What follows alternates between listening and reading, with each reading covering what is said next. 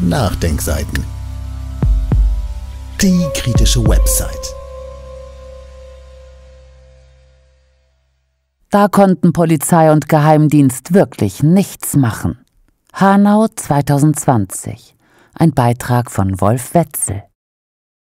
Am 19. Februar 2020 ermordete ein polizeibekannter Faschist in Hanau neun Menschen, die nicht deutsch genug aussahen. Alles, was dies hätte verhindern können, versagte in einer Tour. Ist es nicht auffallend, dass der überparteiliche sogenannte Kampf gegen Rechts genau darüber hinwegtäuscht?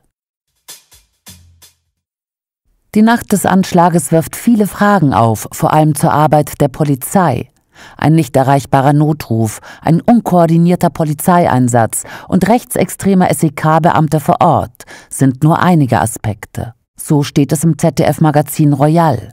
Wir wissen ja, wie schnell die Polizei arbeitet, wenn nötig außerhalb des Rechtsstaates, wenn es um die Verhinderung eines Palästina-Kongresses in Berlin geht. Dafür braucht sie so gut wie nichts, weniger als nichts. Und sie ist bereit. Mit nichts in der Hand kann sie einen Kongress zerschlagen. Sie kann auch im Vorfeld alles an sogenannten Quellen und Hinweisen auswerten. Sie kann lesen, mitlesen und observieren, das Internet durchscannen, Hausdurchsuchungen durchführen, Drohungen aussprechen. Das kann sie alles, ob legal oder auch nicht, wenn es darum geht, Menschen daran zu hindern, einen Vernichtungskrieg, einen Völkermord anzuprangern.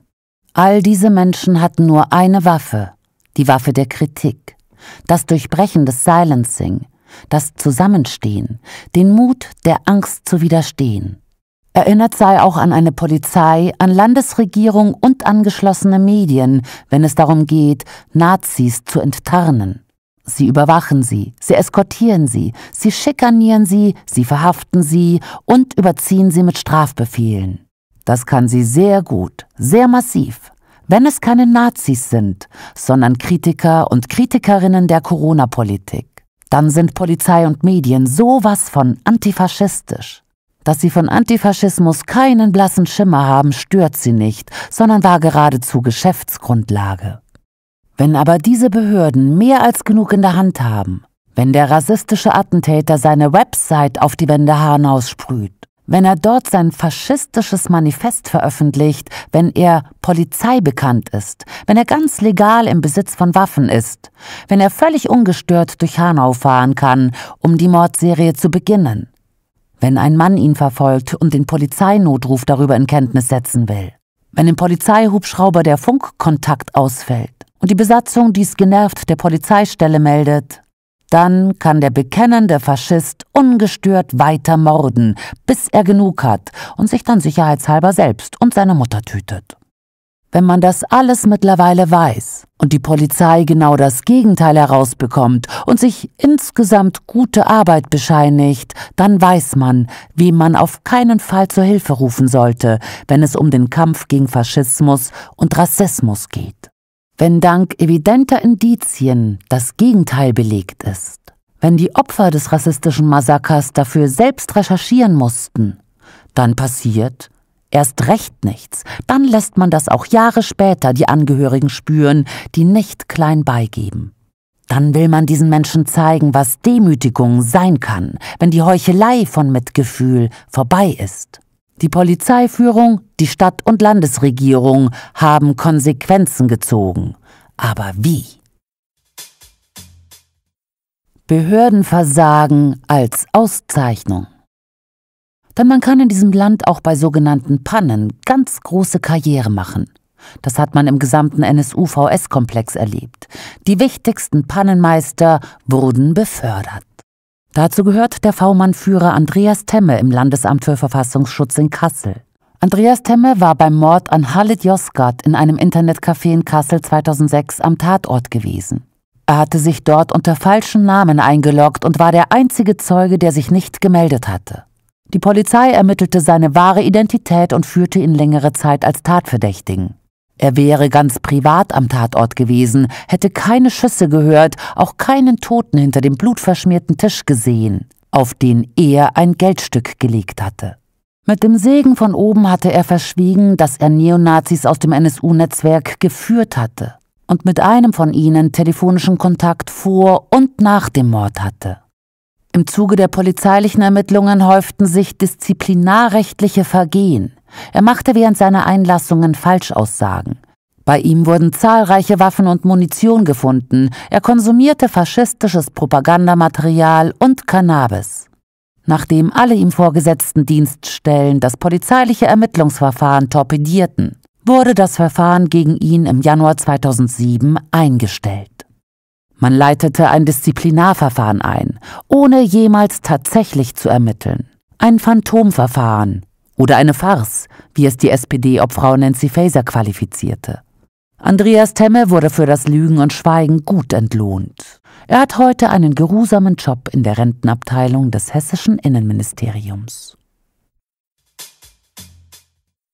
Dazu gehört auch Michael Menzel, Einsatzleiter in Eisenach im Jahr 2011, später Chef der Soko Capron und zugleich Leiter der Polizeidirektion in Gotha. Am 4. November 2011 soll die Polizei durch Zeugen auf einen Campingwagen in Eisenach aufmerksam gemacht worden sein, in den sich mutmaßlich Bankräuber geflüchtet haben sollen. Man will zwei Schüsse gehört haben. Die Schüsse wurden nicht auf Beamte abgefeuert. Laut Ermittlungsergebnis tötete Uwe Mundlos mit einer Pumpgun zuerst Uwe Böhnhardt mit einem Schuss in den Kopf. Dann setzte er den Campingwagen in Brand, lud das ca. 80 cm lange Repetiergewehr nach, richtete den Lauf von unten gegen den eigenen Kopf und tötete sich selbst. Wenig später war die Feuerwehr vor Ort, löschte den Brand und machte zu Dokumentationszwecken Fotos, auch vom Innenraum. Entgegen dieser heute gültigen Version erzählte der damalige Leiter der für Eisenach zuständigen Polizeidirektion Gotha, Michael Menzel, später Chef der Soko Capron, der Bildzeitung etwas ganz anderes. Wir wussten, dass sie scharfe Waffen hatten. Sie haben sofort auf uns geschossen, sagte Menzel. So zu lesen auf Bild.de vom 26. November 2011. Wenn die bis heute gültige Version die richtige ist, dann hat der Leiter der Polizeidirektion Gotha eine Falschaussage gemacht. Tatsächlich traf Michael Menzel knapp 30 Minuten nach Auffinden des Campingwagens am Tatort ein. Seine erste Amtshandlung bestand darin, die Kamera des Feuerwehrmannes zu beschlagnahmen. Dies ist eine Amtsanmaßung, eine Straftat im Amt, denn es gab keinen einzigen dienstlichen Grund, die Fotos, die zu Dokumentationszwecken erstellt wurden, zu kassieren. Obwohl es zum Einmaleins der Ermittlungsarbeit gehört, den Todeszeitpunkt vor Ort zu bestimmen, unterblieb dies. Zudem konnte die Gerichtsmedizin nicht ihrer Arbeit nachgehen, anhand von Blutmusterbildern zu überprüfen, ob diese mit dem angenommenen Geschehensverlauf übereinstimmen. Die Gerichtsmediziner wurden einfach weggeschickt. Wenig später ordnete Michael Menzel an, den ausgebrannten Campingwagen über eine 20 bis 30 Grad geneigte Rampe abzuschleppen wodurch der mögliche Tatort im Polizeijargon kontaminiert, also für die Spurenauswertung unbrauchbar gemacht wurde.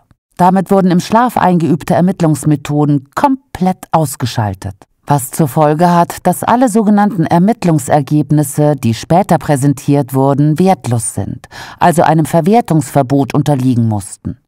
Eine Serie von in Anführungszeichen Pannen also, die auf systematische Weise die Rekonstruktion der tödlichen Ereignisse verhindert hat. All dies ist unter Leitung und auf Anweisung des späteren Chefs der Soko Capron passiert. Hat man ihn wenigstens wegen der Pannen gerügt oder sanktioniert? Zitat aus der Thüringer Allgemeinen.de vom 18. November 2015. Menzel ist derzeit im Thüringer Innenministerium Referatsleiter Verbrechensbekämpfung. Viel höher kann man nicht fallen. Kassel, Eisenach, Hanau, eine Einbahnstraße. An diesem System hat sich nichts, aber auch gar nichts geändert. Man kann sogar sagen, dass der Fall Hanau noch dreister abgeschlossen wird. Der damalige Polizeipräsident in Hanau, Roland Ullmann, wurde vom damaligen Innenminister Peter Beuth von der CDU zum Landespolizeipräsidenten befördert. Er hat sich also bei der Nichtaufklärung verdient gemacht. Aber man sollte nicht verschweigen, dass es auch Disziplinarverfahren gegen Polizeibeamte gab. Um genau zu sein, gegen exakt jene zwei Beamte, die ihren Blindflug in der Mordnacht nicht schweigend hinnahmen, sondern laut und deutlich von einem Kanalbingo sprachen. Sie wurden als einzige Polizeibeamte mit einem Disziplinarverfahren überzogen. Das Vergehen nennt sich Vorwurf des Verstoßes gegen die Wohlverhaltenspflicht. Das nennt man ganze Arbeit. Bitteres Erinnern an eine Trauerfeier. Am 5. März 2020 fand die Trauerfeier in Hanau statt. Es waren 650 Menschen geladen, unter anderem der hessische Ministerpräsident Volker Bouffier. Als ich das Foto von und mit ihm sah, zusammen mit den Familienangehörigen, ganz in der ersten Reihe, wurde ich wütend. Wie kann so ein Mann in der ersten Reihe sitzen? Wie kann man ihn einladen? Wie kann man ihn aushalten? Volker Bouffier war hessischer Innenminister, als 2006 der Mord an Halit Yozgat in Kassel passierte. Er war also Dienstvorgesetzter des Verfassungsschutzes und wusste ganz genau, warum er die polizeilichen Ermittlungen sabotierte, und er tat alles dafür. Auch ihm hat die Sabotage der Aufklärung nicht geschadet, im Gegenteil. Er hat bewiesen, dass man sich auf ihn verlassen kann. Geradezu höhnisch klingt seine Trauerrede, heute mehr denn je. Zitat Das Schweigen der vielen darf nicht zur Ermutigung weniger werden. Die Angst darf nicht obsiegen. So steht es in faz.net vom 4. März 2020. Allein diese beiden Sätze sind an Dreistigkeit nicht zu überbieten mit dem Blick auf die neuen Särge. Denn das Schweigen gehörte zum obersten Gebot bei der sogenannten Aufklärung des Mordes in Kassel 2006. Und die Angst, von der er sprach, der man nicht erliegen dürfe, ist die Angst, die seine Behörde bewusst und gezielt eingesetzt hatte, um alles dafür zu tun, die Frage nicht zu beantworten, wer alles den Mord an Halit Yozgat ermöglicht hatte. Gemeinsamer Kampf gegen Rechts? Wenn also Zehn und Hunderttausende mit genau diesen Politikern gemeinsam im Kampf gegen Neonazismus oder Kampf gegen Rechts auf die Straße gehen, wie dies nach den Korrektivrecherchen zu dem Potsdam-Treffen 2023 geschehen ist, dann sollte man an diese Wohlverhaltenspflichterlebnisse keine guten Erinnerungen haben. Quellenangaben und weiterführende Verlinkungen finden Sie auf www.nachdenkseiten.de oder im Beschreibungstext unter dem YouTube-Podcast. Dieses Audio konnte nur entstehen, weil zahlreiche Leser und Leserinnen die Nachdenkseiten fördern und durch Spenden unterstützen.